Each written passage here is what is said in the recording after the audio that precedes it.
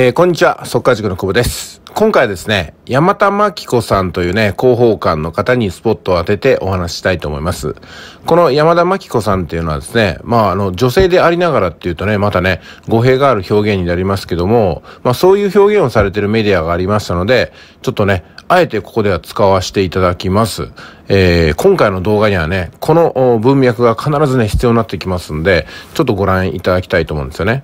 もう一回言いますけども、山田真紀子さんっていうのは、女性でありながら自民党と言われるね、男社会の中枢の方にね、どんどん取り上げられて、今、広報官までされているんですよね。プラスですね、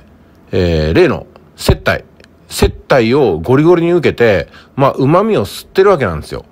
で、ここでですね、私がですね、あのー、女性がこういう地位に入ったということは、えー、本当にですね、えー、妙な関係とか、ずるさとかではなくて、女性なりの、やっぱ男性社会を切り崩すね、正義の心というか、庶民感覚というか、本当にね、あの、まあ、女子供っていう表現があるとまた厄介なんですけども、申し訳ないですけど、今回はちょっとね、あえて使わせていただきますけども、力なきね、女子供の味方として、男社会の中枢に切り込んでいっていただいて、そしてそこでね、辛辣な手腕を発揮してくれるのかなと思っているんですけども、そういうことを期待しているんですよね。女性の社会進出っていうのは、ある意味その男社会をどんどんどんどんね、壊していって新しく作り変えることによってもっと庶民感覚もっと普通の人の感覚を中枢に入れていっていただくということだと思うんですね私は。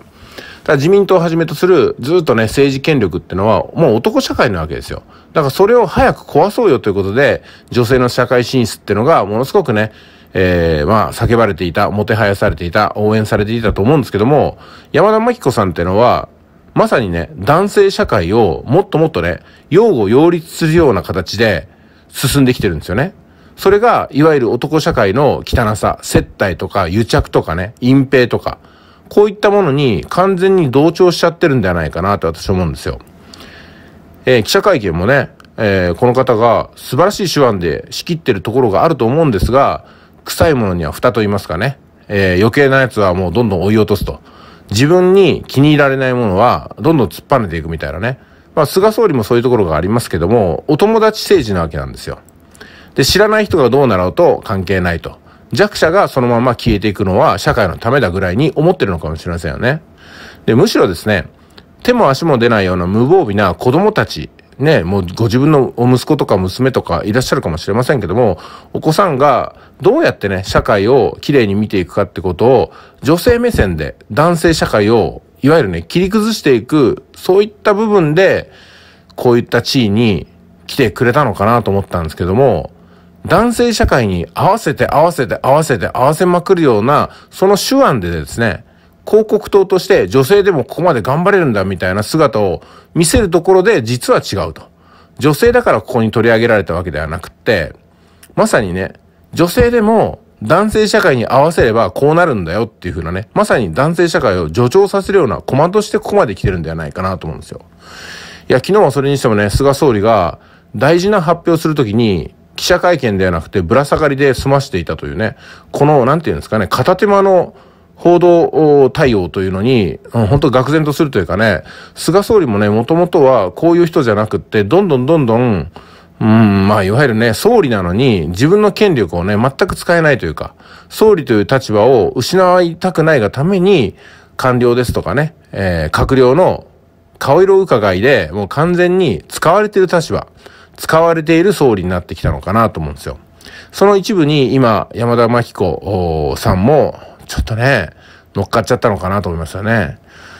うん、ちょっとはっきりとね、表現しにくい部分がたくさんあるんですけども、ちょっとまとめて言いますと、山田真紀子さんっていうのは、うん、女性という立場を男性に利用させられて、女性でもここまで上り詰められるんですよっていう風な広告塔に利用されながら、その代わり山田真紀子さんは男性社会に合わせていくことによって、女性でもここまで来れるんですよっていう風なね、そういう風な揶揄が入ってるんではないかなと、私は見ちゃうんですよね。うん。じゃなければ、やっぱりもっとね、切り込んでいただきたいと。森友賭け問題もひっくり返すような勢いでね、もっともっとぐいぐいと切り込んでいただきたいですし、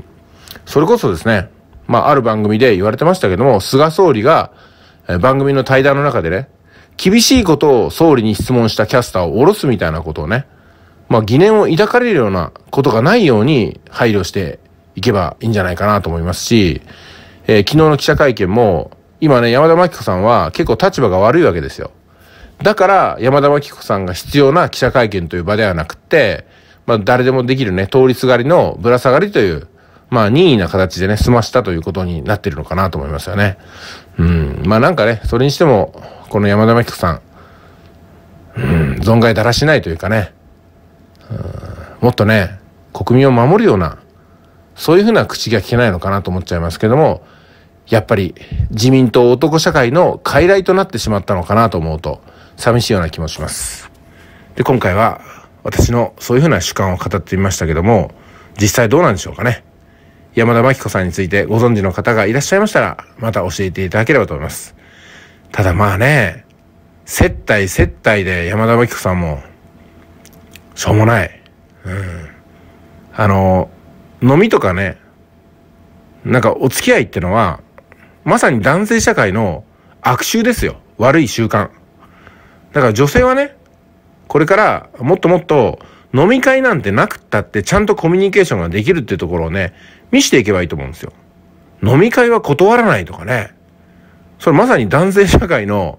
悪癖を継承してるじゃないですか。私はそう思うんですよ。どうですかね皆さん。あの、飲み会なんてしなくったってね。例えば私 YouTube やってますけども、飲み会皆さんとやったことないですよね。でもちゃんとチャンネル登録起きてますし、一定の信頼関係あると思いますし、YouTube の視聴者さんと私はね、何人もとお会いしましたよ。